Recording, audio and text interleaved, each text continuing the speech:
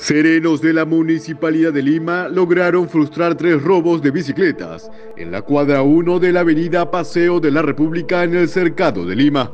En la primera intervención, las cámaras de videovigilancia registraron cuando el hombre cortaba la cadena de seguridad de una bicicleta que se encontraba estacionada, nada más y nada menos que con una cizalla.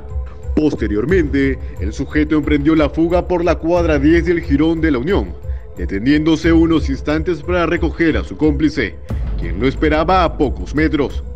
Patrullas del Serenazgo interceptaron a la pareja a la altura de la Plaza San Martín y lograron intervenirlos. ¿Cómo han ha cortado la cadena? ¿Cómo ha sido? De uno hasta tres. Mi bicicleta, la ¿Ah? cadena ya la he encontrado. ¿No la has encontrado tu bicicleta? ¿Estás seguro?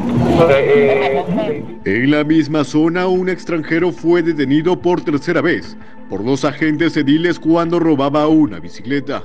En su poder tenía una cizalla y un candado de seguridad. De igual manera, los serenos de Lima impidieron que otro joven, a quien hallaron manipulando la cadena de seguridad, sustrajera una bicicleta en el mismo lugar. Los intervenidos fueron trasladados a la comisaría de Alfonso Ugarte para las investigaciones correspondientes.